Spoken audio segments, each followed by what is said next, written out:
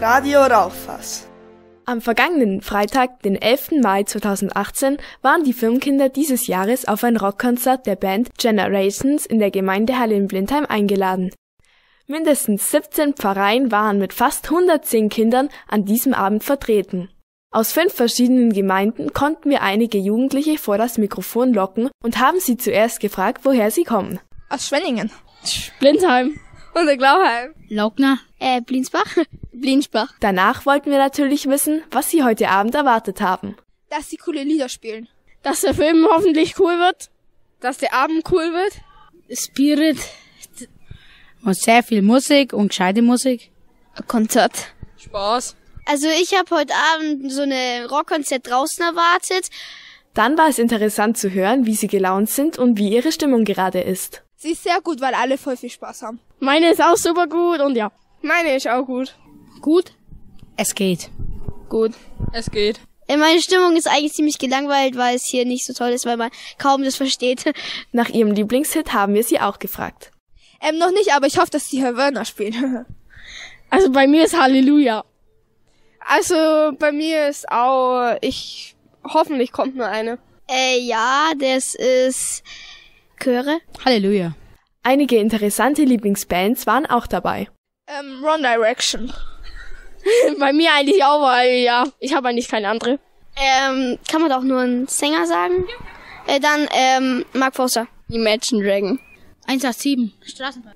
Ähm, SpongeBob Gangshot. Dann wollten wir wissen, was für sie die drei schönsten Dinge im Leben sind. Ähm, Familie, Freunde und Haustiere. Bei mir Familie, Freunde und Gesundheit.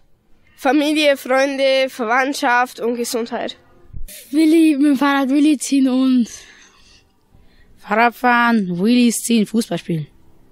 Fahrradfahren, Taekwondo, keine Ahnung.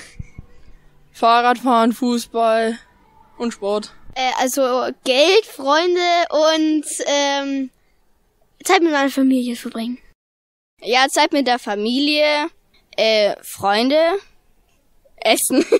Zuletzt bestand noch eine etwas schwierigere Aufgabe für die Firmlinge darin, zwei Sätze zu vervollständigen. Zuerst wollten wir wissen, was überhaupt Firmung für sie ist. Wie Kommunion eigentlich?